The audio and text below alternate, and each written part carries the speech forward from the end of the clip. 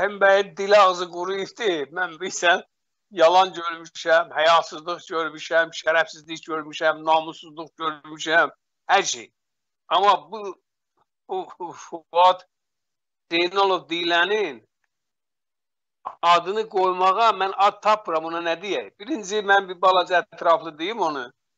Mən ayın 4-ü fevral 1993-cü ildə Gəncənin Üçtəpə deyilən yerdə o 104-cü Desant diviziyasının e, qonaq evi vardı. Orada e, hava dən, nədir? Desantniklərin VDV deyirlər də hava yəni, onların komanda mavini general leytenant Çindarovla söhbət eləyir. Azərbaycandan 104-cü diviziyanın çıxarılması və Azərbaycana qalacaq əmlak barədə. Bu söhbətin əsnasında Surət Hüseynov gəldi və dedi ki, çıldıranda, çıldırana ermənilər hücum eləyir. Çıldıranı götürüblər. Elə bil ki, mən başıma bir qaynar qazan su töküldü. Həmin dəqiqə söhbəti saxladım, oradan maşına minib getdim birbaşa Ağdəriyə. Deməli, Ağdərədə mən çox oralar bilmişəm. Bir gün artıq xəyanəti tamamilə hamıya bəlli olan Azərbaycan xalqına, Azərbaycan ordusuna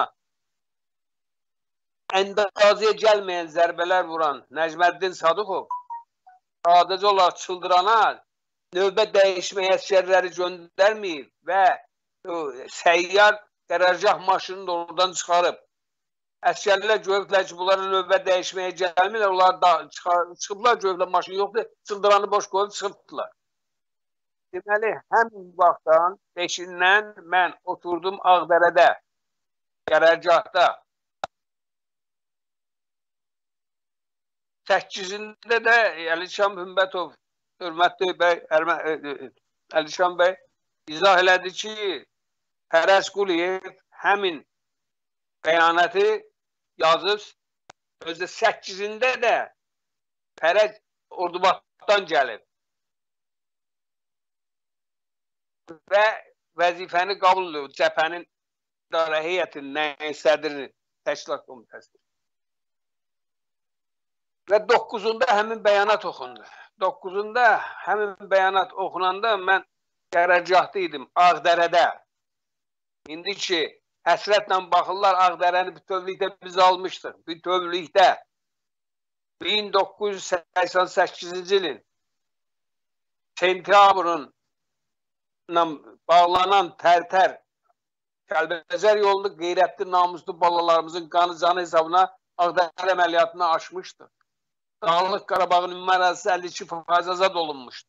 Belə bir uğurlu vaxtda həmin indi kimin dalından, kimin düz istəyirəm ifadəmiz, kimin koltuğun altından çıxdığı bəlli olan Fərəz Quliyevin bəyanatı səsləndi. Mən Ağdərədə idim.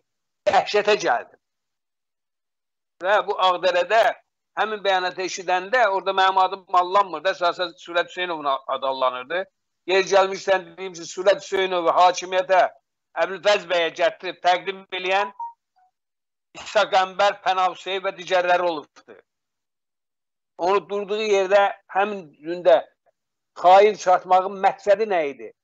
Sonra şey, hörmətli Sərdar bəy, mən ona görə bunu ətraflı dinləyirəm ki, burada ilə məkil var idi. Təsəvvür edin, həmin gün bəyanat səslənən gün Əbülfəz bəy Gəncədə idi. Bunlar nəyə hesablayırdılar? E, Surət Hüseynov Gəncədə, Rəhim Qaziyev emosional Əbülfəz bəyə qarşı hansı bir tərbiyəsiz və yaxud da qəsd məsələsi ortaya çıxacaq. Gör bunun nə qədər şərəfsizcəsinə hazırlayıblar. Həmin adamlar bir gün Azərbaycan siyasi meydanında at oynadırlar. Bu ağır vaxtda. Münasibə belə oldu ki, onlar gözlədikləri gözlərində qaldı. Gözlədikləri gözündə qaldığına görə ki, Əbülfəz bəyə qarşı bir dənə də olsun e, qeyri etik hərəkət olmadı. Surət Hüseynovla mənim aramda danışıq oldu. Yəni indi deyirlər ki, biz Surə Elçi bəy oradan məxfi çıxar. Ödə kim danışır, məxfiliyin nə olduğunu bilməyən, qanmayan adam. Müdafiə Nazirliyi orada, bir dənə aerodrom orada. O bütün nəzarət orada. Bunlar Əbülfəz bəy nətər sakitcə çıxacaq ki, onu vurmasınlar. Bunlar din də şərəfsizcəsinə o vaxtda Əbülfəz bəyə qarşı xəyanətli hər zaman olublar. Dünkü kimi. Xülasə, mən orada 9-unda oldum və 9-undan İskəndər Həmidov da orada idi. Və danışıqlar aparıb mən ürəyim tutdu Sərdar bəy. Bakıdan brigada gəldi, həkimlər briqadası. Bir də 104-cü diviziyadan Şerbak mənə həkim briqadası göndərdi. Həkimlər indi yəqin ki, onlar sağdılar. Bakıdan gələnləri deyirəm. Məni məcburlədilər ki, sən infarkt ərəfəsindəsən, hökmən hospitalizasiya olmalısan. Mən getmədim, orada qaldım və bu məsələləri orada həll elədik. Mən ayın ancaq 11-də daha bunu çox geniş eləmirəm. 11 fevralda mən Bakıya qayıtdım. Bu indi bu şərəfsiz Zeynalov, addi namus. Sənin ayrı yoxdur. Sən nətər mənim ayın 7-sində mənim xidməti kabinetimdə olmusan. Mənə də orada şey deyirsən, bu mülki əvvəla sən qanmırsan, başın ki, sən hadisədən xəbərin yoxdur. Mənim fərmanım prezident tərəfindən verilibdir, mülki şəxs olaraq müdafiə naziri təyin olunsun. Sən mən kimi qoy, sən bu qədər alçaqlıq, indi arvadı, uşağı içində oturmuşsan, sən özə kişi deyirsən. Bax, bu yalanı sənə kim məcburlu etdi danışmağa? Sənin sifarişçi kişiliyi, ləyaqəti, namusu olsa, bugün Azərbaycan odun içində yanır. Bizim çox şərəflə, ləyaqətlə Azərbaycandan çıxartdığımız 164 il Azərbaycanın təpiyi altında əzən demokratik Azərbaycan Cumhuriyyətini işğal edən şərəfinə də Heydər Əliyevin abidə qoydurduğu həmin 11-ci qızı ordunun xələflərini Azərbaycandan biz çıxartdıq qısa müddətdə. Bununla bərabər Azərbaycan işğalçı ordunun təpiyi altından azad olmaqla yanaşı biz Dağlıq Qarabağın ən təzə hələ yaşımız tamam olmamış, ordunun yaşı tamam olmamış qeyrətli balalarının qeyrəti ilə, canı ilə, qanı hesabına 52% torpaqlar azad elədik. İndi bunun qəmli bu adam deyir ki, əstağfirullah, mənə özdə deyir, dəqiq yadımdadır, 7 fevral mənim anadan olan günümü, sən, anan sənin yerinə daş doğu idi, uçih doğu idi, donuz doğu idi, sənin kimi şərəfsizi doğmayaydı. Gümbək, yaxşı, Bəs mən, olmuyor olmuyor. Gəncədə ola ola, üzr istəyirəm, Ağdərədə ola ola. Sən mənimlə nətər görüşmüsən və Əlişan Mümbətov, Əlişan Mümbətov çox yaxşıdır, yaxşı bu.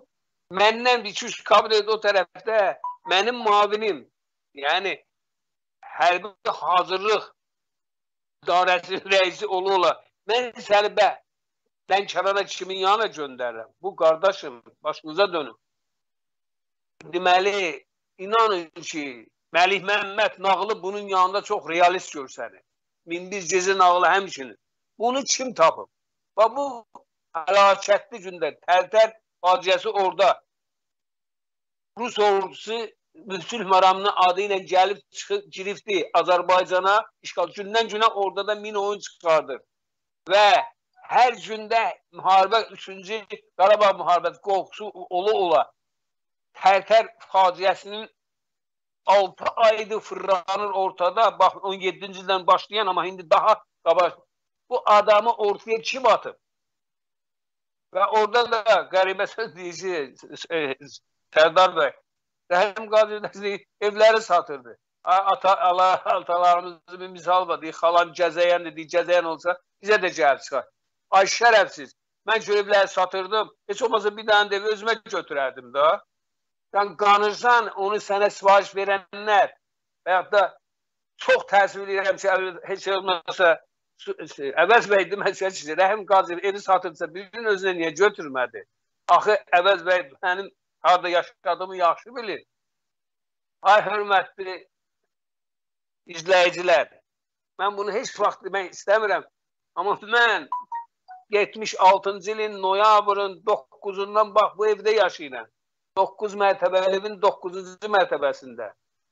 Anam həyatını bizdən ötəri Şəkidə böyük evimiz onunla indi də gedib baxa bilərsiniz anamın yaşadığı ev Allah ruhlarını şad eləsin hamısını.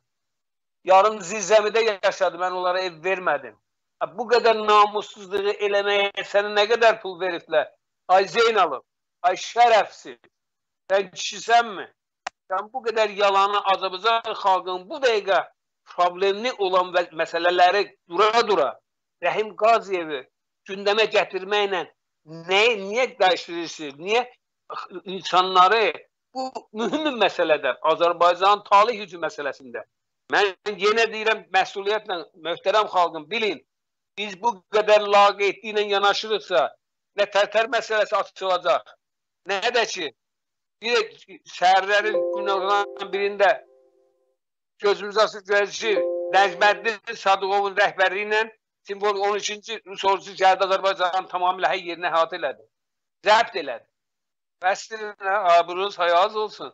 Mən heç vaxt nə müsahibə verməkdən, nə verməkdən, mən dəfələrlə amma bu günləri ən böyük məsələ, ən ağır məsələ tərtər məsələsi və Azərbaycanın yenidən işğal altına düşməsi məsələn, artıq işğalçı olduğu üçün Fərhamla ilə gəlib giribdir. Orada da nə istəyirlər eləyirlər. Mən buradan Ali Baş komandana səslənirəm. Gözəl ordu yollar keçirsiniz, amma Prezident Ali Baş komandan unutmayın ki, Şuşaya gedən ən qısa yol və ən el yolu Ağda, Xoca, Əskəran, Xocalı, düz Xan kəndinin qulağının dibindən çıxıb ağa körpüsüdür Şuşadır. Üncə siz oraya getmisinizmi? O yolu getmisinizmi? Yox. Oradakı Rus Türk mərəmları deyilən işğalçı ordunun orada oynatdığı atlar hamıya bəllidir indi. Azərbaycan bu təhlükəli vaxtında Rəhim Qaziyev nə boyda gündəm olubdu, mən onu anlaya bilmirəm. Bax, vallahi billahi anlaya bilmirəm. Burada nə var? Niyə bu günləri gündəmi dəyişmək istəyirsiniz? Azərbaycanın talih yüklü məsələlərini qoymusunuz qıraqda. Rəhim Qaziyevin bir şərəfsizin biri. Mən belə adam tanımıram. Vallahi billahi görməmişəm. İndi aydın oldu ki, elə tarixdir ki, elə tarixdir ki. Bu tarixi mən istəsəm də ki, mən 7-sində e, xidmət otağımda olaydım. Zeynalov da gələydi o xidməti otağa. Əlişan Ümbətov da olaydı Lənkəranda. Ha, bu Hətta bütün bu gədənin, bu şərəfsizin, bu namussuzun dedikləri Quran ayəsi ki, və estağfurullah düz olsaydı, büyün, bu gündəm deyil. Və sən, ay Fuat Zeynalov, heç utanıb ölmürsən ki, iki dəfə mənim məhkəməm olubdur. Bu boyda xəyanətləri sən bilə-bilə niyə gəlib deməmisən? İndi səni nə məcbur eləyibdir? Nə? Sənə nə isə pul veribdilər? Sən evə, ailə içində nə xərc etsə bu qədər yalanlardan sonra. Eyni yalanı da vaxtında Elbrus Oruzov danışmışdı. O da qurban olun. Elə yalan danışırlar ki, Allaha qurban olub. Allah insanı qoruyanda hörmətli izləyicilər baxın. 28 29-unda Şuşada olmalı olan Elbrus Oruzov deyir ki 29 aprel 1993-də mən nazirin xidmət otağında idim. Həyasızlığa bax. Həmin gün 29-u hətta mən də istəsəm ki, Elbrus Oruzov mənim yanımda olur, mümkün deyil. Çünki qardaşı tarix 28-ci aprel 92-ci il axşam mən nazirlikdən çıxmışam və getmişəm Gənciyə. 29-u səhər səhər 9-10-a işləmiş Gəncə hava limanında mən Qraşovu 29 generalla qarşılamışam. Onları götürüb aparmışam Şəkiyə.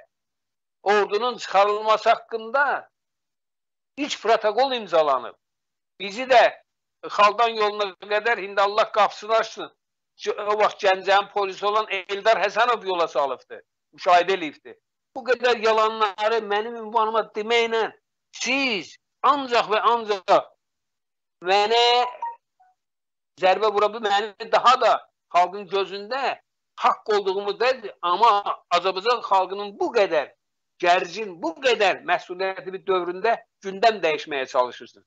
Mən söz tapa bilmirəm, hörmətli Sərdar bəy, valla hörmətli izləyicilər. Çünki deməyə söz yox. İndi Ərdişah Ümmətov, Allah canını sağ eləsin, olanı dedi.